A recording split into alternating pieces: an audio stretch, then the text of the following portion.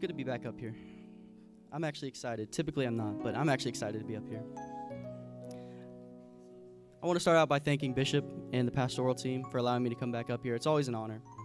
Um, my verses today, I forgot to give it to the back, but it's Ephesians 6 11 and 12. And it says, Put on the whole armor of God, that ye may, may be able to stand against the wiles of the devil. For we wrestle not against flesh and blood, but against the principalities, against powers, against the uh, rulers of the darkness of this world, against spiritual wickedness in high places. You may be seated.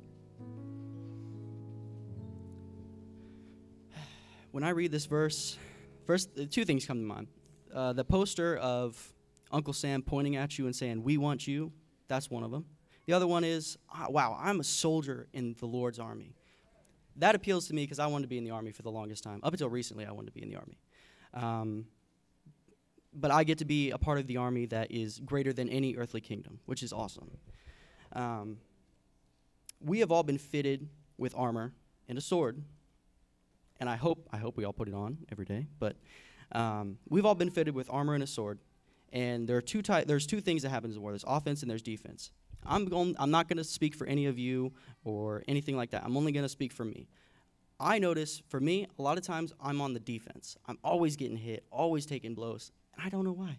Why don't I just go on the offense? But um, I'm sorry. Yeah. Uh, sorry, I lost my place on my notes, but God is good. The devil will gladly, he will, he relishes at the fact that he gets to take shots at me and at probably all of you. He loves throwing depression and anxiety and all kinds of crazy stuff at me. But you know what? I get to do that back to him. That's, that's what's great about the word. I get a sword, I get an offensive weapon, and I get to go on the attack.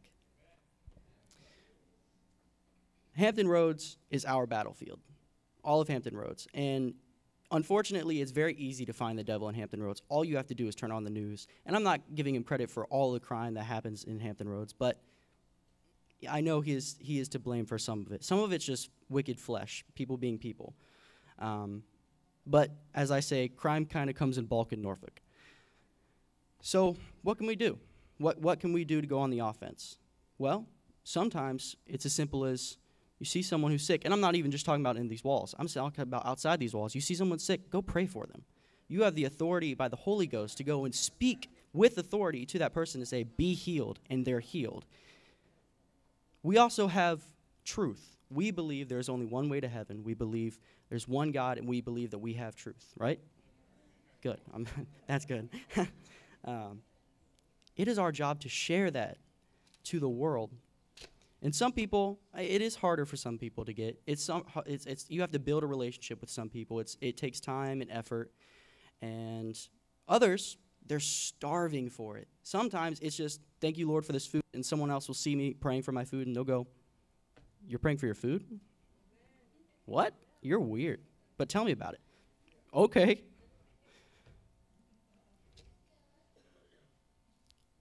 They, they have a void in their life. And if honestly, if you get close to somebody, they'll tell you about that void. There's, it's a, it's a God sized hole that only God can fill.